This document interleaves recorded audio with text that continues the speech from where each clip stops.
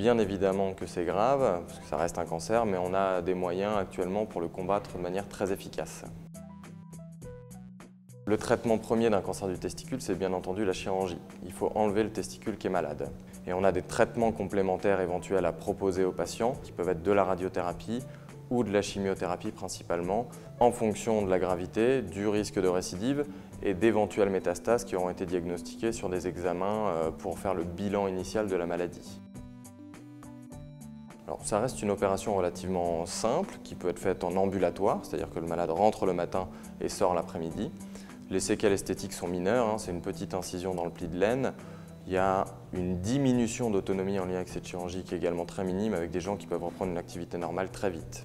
Après, il faut aussi savoir qu'on touche au testicule, c'est l'organe de la fertilité, et qu'on peut avoir des troubles de la fertilité en lien avec cette intervention, en lien avec une chimiothérapie ou une radiothérapie. Donc il faut prendre des précautions avant toute la prise en charge en vue d'un projet de fertilité futur si c'est le souhait du patient. Le meilleur moyen de dépister rapidement et précocement un cancer du testicule, il est simple, c'est l'autopalpation pour tous les hommes, hein, sous la douche, pendant la toilette. Et si on sent une induration, une boule, quelque chose de dur au niveau du testicule, tout de suite consulter son médecin pour que le cancer, parce que très souvent on a affaire à un cancer, soit pris à temps avant qu'il y ait ces fameuses métastases.